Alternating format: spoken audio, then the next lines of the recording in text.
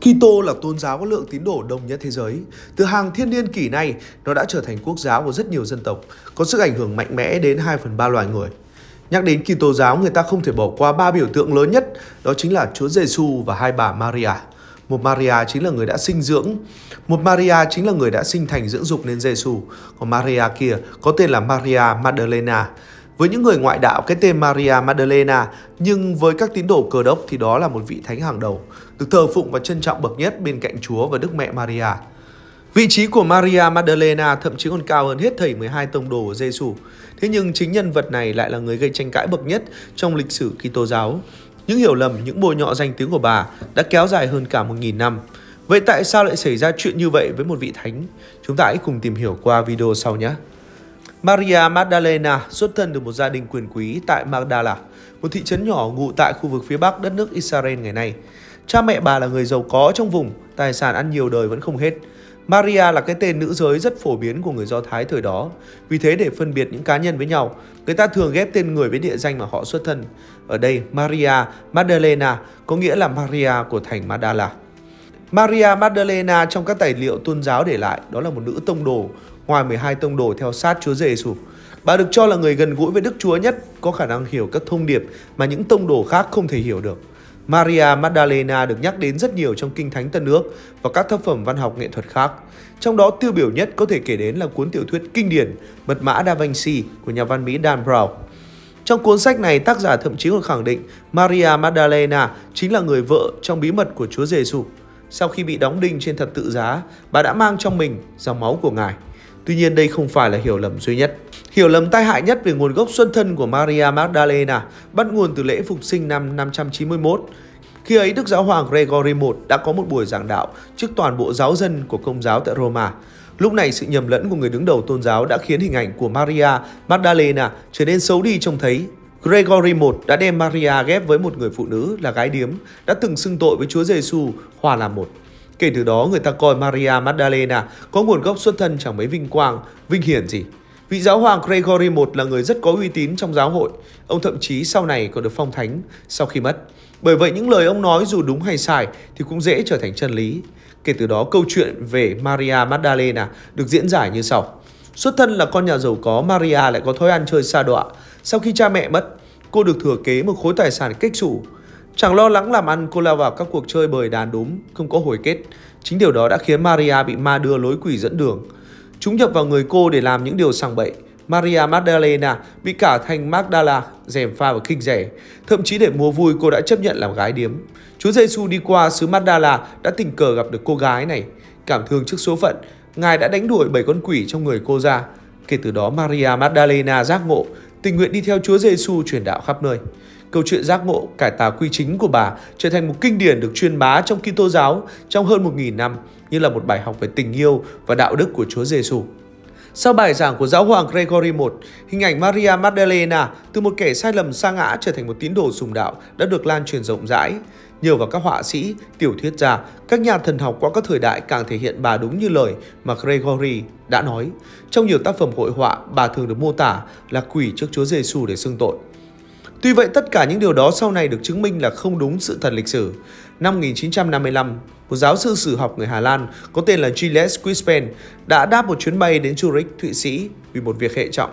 Viện Thần học Jung tại đây vừa mới mua lại một tài liệu cổ được phát hiện tại Ai Cập những năm 1940. Quispen là một chuyên gia nghiên cứu văn hóa Ai Cập cổ đại nên được mời đến đây để giải mã. Theo giám định của Viện Jung, thì bản thảo này đã có niên đại 1.700 năm. Như vớ được vàng, Quispen đã ngay lập tức lao vào dịch thuật với niềm vui sướng vô hạn. Nhưng ngay khi đọc xong dòng đầu tiên thì Quispen bỗng giật mình khi nó chính là cuốn Phúc âm Thomas được gắn với vị tông đồ Thomas của Chúa Giêsu. Nó là bản thảo giống như cuốn Phúc âm Thomas từng được phát hiện ở Hy Lạp trước đó vào năm 1890. Tuy nhiên bản tiếng Ai Cập này lại đầy đủ hơn. Quay lại một chút về lịch sử, toàn bộ giáo lý của Kitô giáo được tập hợp trong các cuốn sách thuộc Kinh Thánh Tân Ước. Trong Tân Ước bao gồm 4 quyền phúc âm là Luca, Matthew, Mark và John cùng một cuốn sách công vụ tông đồ và một cuốn khải huyền.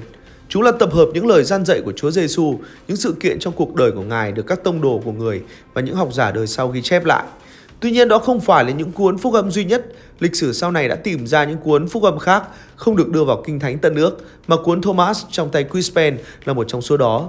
Sau khi hoàn thành bản dịch thuật, nhà sử học người Hà Lan này tiếp tục tìm kiếm các cuốn phúc âm khác ở khắp các nơi lưu trữ trên thế giới để so sánh. Và cơ duyên đã dẫn ông đến bảo tàng ở Ai Cập, nơi lưu trữ một cuốn sách có tên là Phúc âm Maria. Quispen cảm thấy tò mò, đã lập tức tiếp tục lao vào dịch thuật. Và ông hoàn toàn bất ngờ với nội dung ở trong đó. Nó nói về Maria Magdalena hoàn toàn khác so với những gì trong kinh điển của Kitô giáo lẫn các tác phẩm nghệ thuật mô tả. Trong cuốn phúc âm Maria mô tả Maria Magdalena là một trong những môn đệ được yêu ái nhất của Chúa Giêsu. Cô là một người phụ nữ quyền quý và thanh cao, tuyệt nhiên không phải một gái điếm như trước đây quan niệm Kitô giáo mô tả. Sau khi được giác ngộ bởi giáo lý của Jesus Christ, Maria đã nguyện theo Ngài cùng các tông đồ đi truyền giáo. Chính Maria đã là người hỗ trợ tài chính để đoàn người yên tâm làm nhiệm vụ. Maria Magdalena thậm chí còn tỏ ra thân cận với Chúa Giêsu hơn hết thảy mọi tông đồ nào khác, trên cả Thánh Peter, vị tông đồ trưởng của Ngài. Chính Chúa Giêsu là người đánh giá rất cao bà. Trong cuốn Phúc âm Maria có ghi lại một câu chuyện sau khi Chúa Giêsu qua đời, tất cả mọi tông đồ ngồi lại với nhau. Vị tông đồ trưởng là Peter đã đề nghị mỗi người chia sẻ lại những lời dạy của Chúa Giêsu mà mình còn nhớ được. Đến lượt Maria phát biểu, bà đã có một bài diễn thuyết rất dài. Nghe xong mọi người đều bàng hoàng khi những điều được nói ra họ chưa hề nghe Chúa Giêsu từng thốt ra với mình một lần nào. Điều đó đồng nghĩa với việc Chúa Giêsu đã rất yêu ái vị nữ tông đồ này nên mới truyền thụ những giáo lý riêng tư một cách bí mật như vậy. Đọc xong những điều trên, nhà sử học Quisman cảm thấy bàng hoàng khi trước giờ những gì mà con người biết về Maria Magdalena đã bị sai lệch. Và thế là ông đã quyết tâm đi tìm ngọn nguồn về người phụ nữ quan trọng trong Kitô giáo này. Ông đã phát hiện ra sai lầm tại hại của giáo hoàng Gregory I, người được phong thánh Gregory, đã khởi nguồn cho những hiểu biết sai lầm về Maria Magdalena trong suốt hơn 1.000 năm sau. Vị giáo hoàng này đã giảng dựa trên phúc âm Luca, nơi có nói về một người phụ nữ làm kỹ nữ từng được Chúa Giêsu giác ngộ đã tình nguyện rửa chân cho ngài. Ngay trường sau đó của cuốn phúc âm nhắc ngay đến Maria Magdalena, vì thế vô tình bà đã bị đồng hóa với cô kỹ nữ kia. Trong một cuốn phúc âm khác có tên là Philip có mô tả lại những lần Chúa Giêsu có hôn Maria Magdalena lên môi. Mặc dù mọi người đều công nhận bà là một trong những môn đệ được yêu quý nhất, nhưng sự tranh cãi nằm ở chỗ liệu Maria này có phải là người tình bí mật của ngài hay không. Việc suy đoán còn đi xa hơn khi người ta suy đoán rằng Maria Magdalena thậm chí còn mang giọt máu của Chúa trong mình và đứa trẻ lớn lên trong bí mật được đem đến một nơi xa để tránh sự nhòm ngó của những kẻ thù ghét Giêsu. Dù có nói thế nào đi nữa thì từ xưa đến nay, Maria Magdalena vẫn được coi là một trong những người phụ nữ quan trọng nhất trong cuộc đời Chúa Giêsu Christ. Nếu như Đức Mẹ Maria là người sinh thành nuôi dưỡng Ngài, thì Maria Magdalena là người thân cận nhất trong các môn đồ.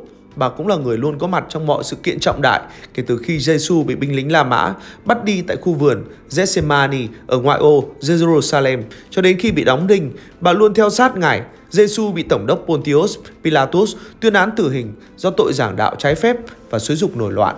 Maria Magdalena là người tông đồ hiếm hoi đến chứng kiến cảnh tượng đau xót là Chúa Giêsu bị đóng đinh trên thập tự giá. Trong khi các tông đồ đều lẩn trốn vì lo sợ bị liên lụy, thì Maria quyết không hèn nhát, dám đối mặt với sự thật đau đớn.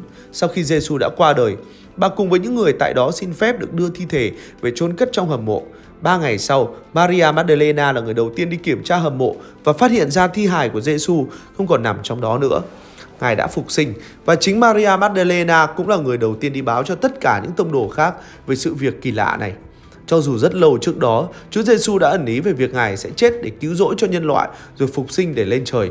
Nhưng lúc này các tông đồ không dám tin đó là sự thật, ngoại trừ Maria Magdalena. Trong phúc âm Matthew nói rằng Maria Magdalena đi cùng Maria mẹ của Giêsu đến hầm mộ, trong khi phúc âm Jones lại chép rằng bà đi một mình.